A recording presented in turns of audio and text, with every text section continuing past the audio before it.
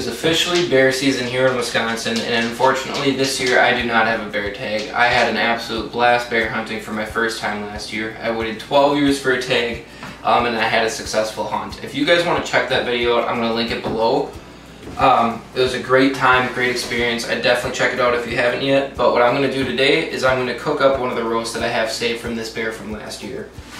Um, bear meat is absolutely delicious. I really enjoy eating it. Some people, for some reason, um, say that it's greasy. Uh, I really don't get it. I think it, it's an absolutely delicious meat, and I've heard Joe Rogan say that um, it tastes kind of like if a deer and a pig were somehow mixed, or a, a cow and a pig were somehow mixed, and I think that's actually probably a perfect description of this meat.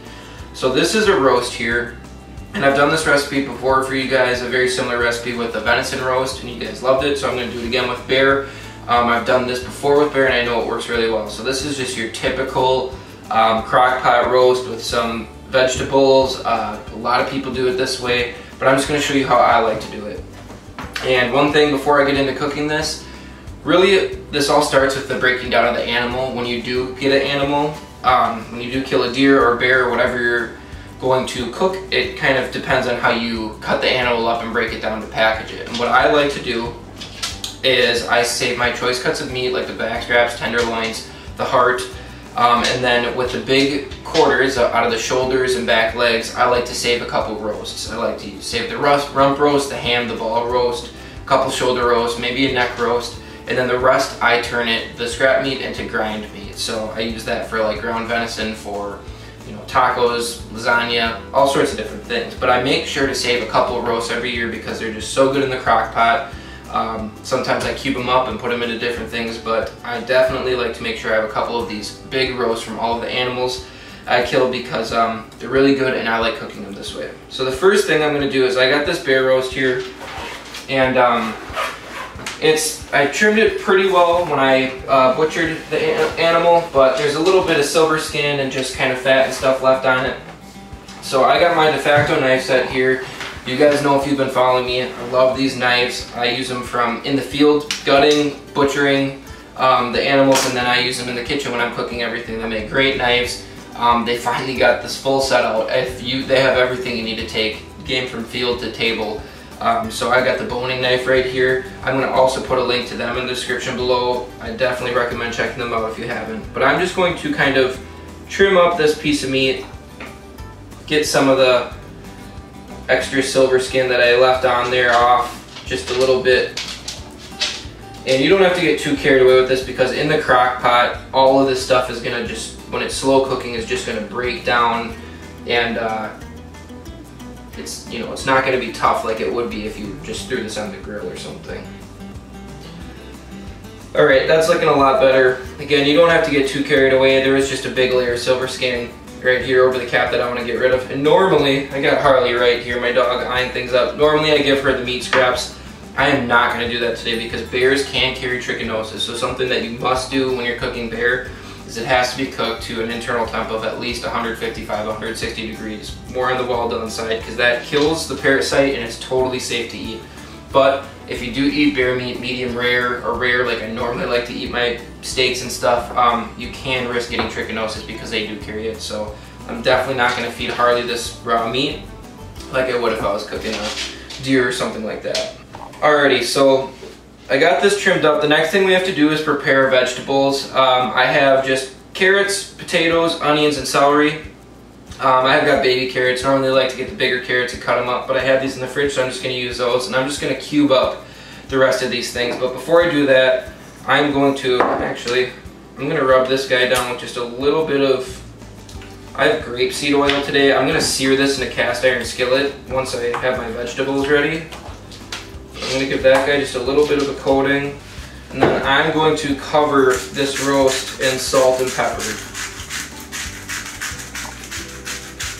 You want to put a lot of this on because the salt and pepper is only covering, obviously, the outer layer of the meat. It's not actually getting inside of it, so I put quite a bit on. Alright, we got that all seasoned up. I'm going to put this off to the side for now. And then what I'm going to do while I'm cooking up or dicing up my vegetables, I got a cast iron skillet here I'm gonna get some grapeseed oil in this pan and get this uh, ripping hot because we're gonna sear that piece of meat. Not to cook it, just to give it a nice crust around the outside before it goes in the crock pot. All right, now it's time to go to work on these vegetables and I have one of DFACKTO's new knives. I could not be more excited for this knife. This thing is a, they're calling it the Boning um, Filet Hybrid Knife. Um, I don't know if they're gonna keep the name for that, but this thing is absolutely perfect for outdoorsmen. I mean, this could be a perfect gutting knife, butcher knife. Um, I've been asking for this for a long time, so I was stoked to see this come out. It's not necessarily, I mean, you can obviously use it in the kitchen.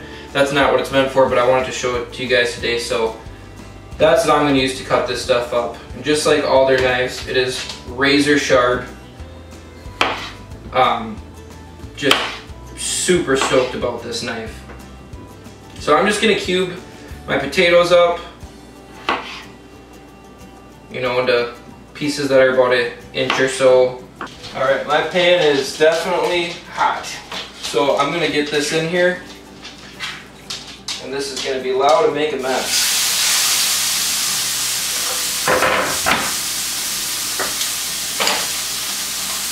And the goal of this is literally to burn the outside, give it a nice crust um, for texture and to kind of seal in that flavor while it's cooking in the crock pot. So I'm going to keep going on my veggies.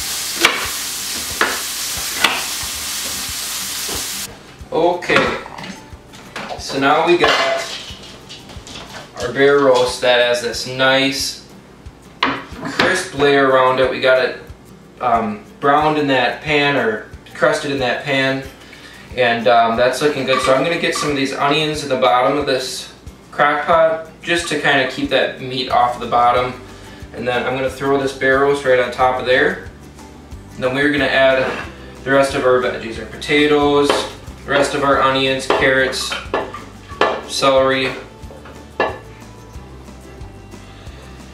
Get those in there, kind of around the meat. Okay, now I got some cream of mushroom. You can use cream of just about anything. I prefer cream of mushroom.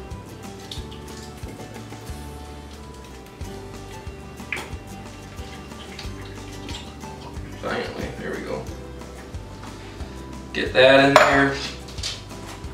And then I have onion soup mix. Um, this is one of the most standard things to do. Works every time. If you've got different ways of doing it, you can certainly try your own recipes. This just always works for me. I think one package should do that. Okay, and then I've got beef broth. This is just beef broth, beef broth from the store. Um, and how much of this you put in there is dependent upon how much meat you have, how many veggies you have in there, and how much of a broth you like. I typically like a little bit more broth, so it almost turns into like a soup or a stew. I like to mix it up, so I'm gonna put it so that it comes to about at least halfway up the piece of meat. And that's just about it. Um, I'm gonna plug this in on high, let it go for probably four hours, maybe up to six hours. That all depends on how big your piece of meat is, what kind of meat it is, um, how tough it is. So when this is ready to pull apart with the fork, you know you're good to go. So really super, super simple recipe. All it asks is a little bit of time of you. Um, the prep work and putting it all together only takes a few minutes. So I'm gonna get this going over here. Plug our crock pot in and set it to high. And I'm gonna let that go. So I'll make sure to get back with you when this is done and I give it the taste test, but this is just one of my favorite recipes that I do all the time. It's super simple, it just simply, it works every time. And um, you know, the weather's cooling down, fall is here, it's a great fall recipe and it's the perfect way to utilize some of those bigger cuts of meat that you get from your big game animals. Alright, I think we might be there. Oh yeah, look at that, just falling apart. Once you can do that, you know it's done. I'm gonna shred this up, get myself a bowl. Alright, it is all finished. It's been in the crock pot for about, uh, right around five hours I'd say. Um, and as you can see, the meat was just falling right apart. Perfect. It's just completely tender. You can break it apart with your fingers. Smells delicious, so I'm going to go ahead and give a bite of just the meat a try.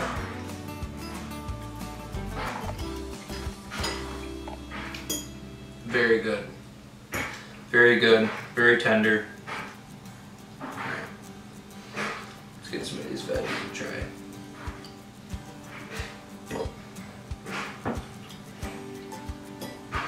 Perfect.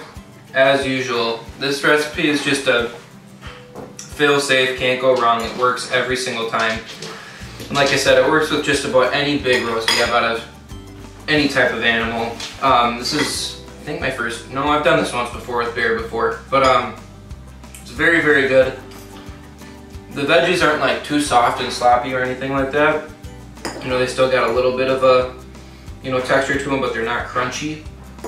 It's just perfect. I love the texture of this dish. I love the flavor. Yeah, really, really good. One of my all-time favorites. A lot of people do a recipe very similar to this. Again, this is just how I like to do it.